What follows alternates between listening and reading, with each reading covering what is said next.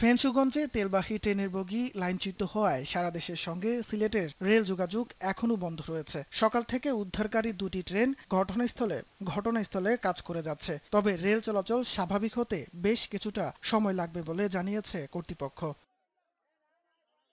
বৃহস্পতিবার দিবাগত রাতে চট্টগ্রাম থেকে প্রায় তিন লাখ লিটার জ্বালানি তেল নিয়ে ট্রেনটি সিলেটের উদ্দেশ্যে ছেড়ে আসে। রাত বারোটার দিকে ফেঞ্চুগঞ্জের মাইজগাঁও রেল স্টেশনের কাছে লাইনচ্যুত হয় ট্রেনের আটটি বগি। এর মধ্যে সাতটি বগি উল্টে চারপাশে তেল ছড়িয়ে পড়লে স্থানীয় লোকজন অগ্নিকাণ্ডের ভয় উপেক্ষা করে হাড়িপাতি, বালতি নিয়ে তেল সংগ্রহ করতে থাকে। পরিস্থিতি নিয়ন্ত্রণে আনার চেষ্টা করেও ব্যর্থ হয় পুলিশ।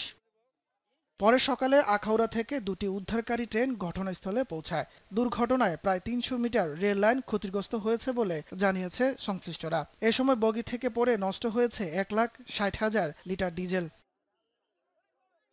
দুপুর বারোটা পর্যন্ত চেষ্টা চালিয়ে দুটি বগি উদ্ধার করা হয়। বাকি বগি উদ্ধার করে ট্রেন চলাচল স্বাভাবিক হতে আরও কয়েক ঘণ্টা সময় লাগবে বলে জানান Sylhet railway station manager Khalilur Rahman. এর মধ্যে অপ্রীতিকর ঘটনা এড়াতে পুলিশ সহ আইনশৃঙ্খলা বাহিনীর সদস্যরা টহল দিচ্ছেন।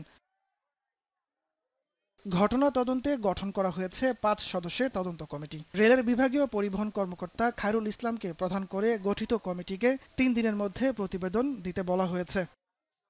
न्यूज़ डेस्क देश टीवी